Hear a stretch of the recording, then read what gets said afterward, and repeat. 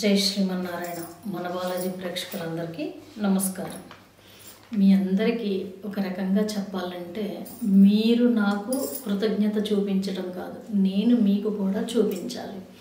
ఈ మాట నేను ఎందుకు చెప్తున్నానంటే మీ అభిమానానికి మీ ప్రేమకి అసలు ఒక రకంగా చెప్పాలంటే ఎల్లలు లేవు హద్దులు లేవు. ఈ మాట నేను ఈ ఈ మొక్క చెప్పడానికి నిజంగా నాకు చాలా సంతోషం చాలా బాధ అనిపిస్తుంది. మొన్న నా పుట్టినరోజు గురించి అంతకు ముందు నేను చెప్పడం మీరందరూ గుర్తు పెట్టుకొని విషెస్ చేయడము అలాగే చాలామందికి అంటే ఈ మొక్క నేను ప్రత్యేకించి చెప్పాలని ఎందుకు అనుకుంటున్నాను అంటే ఒక రకంగా చెప్పాలంటే మీ ప్రేమతోటి మీరు నాకు శారీస్ గాజులు పువ్వు పసుపు కుంకుమ అందులో ఎంతో కొంత డబ్బులు పెట్టి నాకు పంపించడం అనేది చేస్తున్నారు. అలా చెయ్యొద్దమ్మా.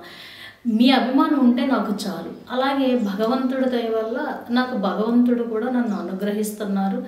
కాబట్టి మీరు ఆ రకంగా మాత్రం నాకు పంపించద్దు. అందులోనూ ఏలూరులో ఆఫీస్ వచ్చేటప్పటికి ఆఫీస్ అడ్రస్ తెలియని వాళ్ళు కూడా కేవలం ఫోన్ నెంబరు మన బాలాజీ అనేసి టైప్ చేసి పంపించేస్తుంటే వాళ్ళ ఫోన్ నెంబర్ ద్వారా ఫోన్ చేస్తుంటే మాకు మాకు ఫోన్ వస్తుంది కాబట్టి మళ్ళీ మేము వెళ్ళి అవి తీసుకుంటాం అనేది ఉంటుంది. కానీ అలా వద్దమ్మా.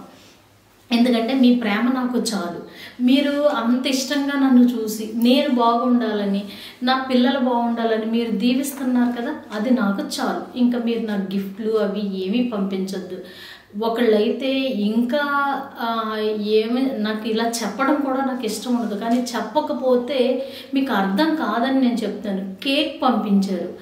అసలు ఆ కేకు అతను ప్రొద్దుట నుంచి మధ్యాహ్నం వరకు కూడా అతనికి మేము చెప్పింది అర్థం కాలేదు.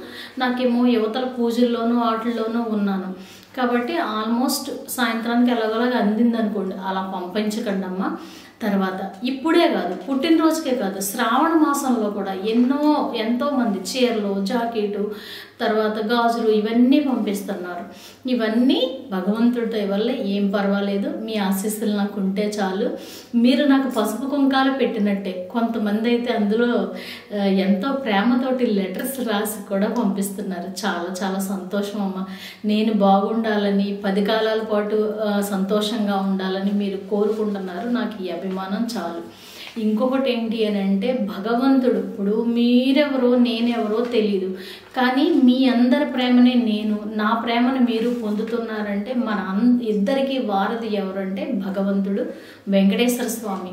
నాకేదో తెలిసినవి నాకు నేను మీకు చెప్పటం. అది మీరు సిన్సియర్గా స్వామిని మనసులో పెట్టుకుని మీ మనసుని స్వామి పాదాల దగ్గర పెట్టి మరి మీరు ఆరాధిస్తున్నారు కాబట్టి ఆ తండ్రి మిమ్మల్ని అనుగ్రహిస్తున్నారు. చాలా మంది అంటున్నారు అమ్మ మీ దయ వల్ల మా కుటుంబం చాలా బాగుందమ్మా. మేము చాలా సంతోషంగా ఉన్నామమ్మా అనేసి అంటున్నారు. నిజమే నేను ఒప్పుకుంటాను. కానీ అది నా గొప్పతనం కన్నా మీరు ఆ స్వామిని నేను ఇలా ఆరాధించండి అమ్మా అని మీరు మీకు చెబితే మీరు చేసుకున్న తర్వాత ఆ తల్లిది ఆ స్వామి అనుగ్రహం మీకు కలిగింది కాబట్టి నిజంగా చాలా చాలా ఆనందంగా మీరు ఉండటం అనేది జరుగుతుంది. నేను ఒక్కటే చెప్పగలను. నేను భూమి మీద ఉన్నంతసేపు అందులోనూ నాకు ఒక రకమైన ఏమని చెప్పాలి అని అంటే మమకారం. స్వామి అంటే మమకారం వెంకటేశ్వర స్వామి అంటే మమకారం. నాకు అవతారాలన్నిటిలోనూ కూడా వెంకటేశ్వర స్వామి నరసింహస్వామి రంగనాథుడు. అలాగే మీకు ఇంకొకటి ఏంటి అని అంటే వరదరాజస్వామి అండి వరదరాజస్వామి అన్నా కూడా నాకు చాలా చాలా చాలా ఆనందం చాలా ఇష్టం కూడా. కాబట్టి ఇలాగ నేను మీకు చెప్పడం అనేది చేస్తున్నాను.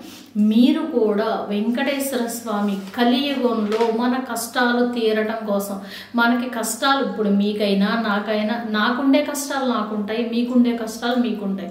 కానీ ఎలాంటి కష్టాలనైనా సరే ఈ కలియుగంలో స్వామి నామం జపిస్తూ స్వామి పాదాలను అర్చిస్తూ అమ్మని స్వామి పాదాల దగ్గర ఉన్న అమ్మని మనం అర్చన చేసుకుంటూ అభిషేకం చేసుకుంటూ గనక మనం పూజించుకున్నట్టయితే మనకి భూమి మీద కావలసినవి ఇస్తారు తర్వాత మనకి మోక్షాన్ని ప్రసాదిస్తారు. కాబట్టి మనందరం కూడా అందులోనూ మీరు నేను పట్టుకోవాల్సింది స్వామి వారినే. స్వామిని పట్టుకుందాం సంతోషంగా ఆనందంగా ఉందాం. మీ అందరి అభిమానానికి నిజంగా నేను మీకు శిరస్సు వంచి నమస్కరించడం కాదు. మీరు రాసిన లెటర్స్ కూడా నేను చూపించను. ఎందుకంటే నాకు అలా చూపించుకోవటం ఇష్టం లేదు. కాబట్టి మీ అందరికీ కూడా నిజంగా శిరస్సు ఉంచి నేను పాదాభివందనం చేస్తున్నా. ఎందుకనంటే మీరందరూ వెంకటేశ్వర స్వామి భక్తులు. కాబట్టి మీ పాదాలకి నేను నమస్కారం చేస్తున్నానంటే మీలో ఉన్న ఆ శ్రీనివాసుడికే నేను నమస్కారం చేస్తున్నట్టు. కాబట్టి ఎట్టి పరిస్థితుల్లోనూ మన జీవుడు భూమి మీద ఈ శరీరంలో ఉన్నంత వరకు మనం స్వామివారిని వదలొద్దు. స్వామిని పట్టుకుందాం. మంచి ఉన్నత స్థితికి మంచి శిఖరం అంటే శిఖరం డబ్బనే కాదండి. డబ్బుతో పాటు కైవల్యం కూడా మనకి కావాలి. మోక్షం కావాలి. కాబట్టి ఆ తండ్రిని మనం పట్టుకుందాం సేవించుకుందాం. జై శ్రీమన్నారాయణ.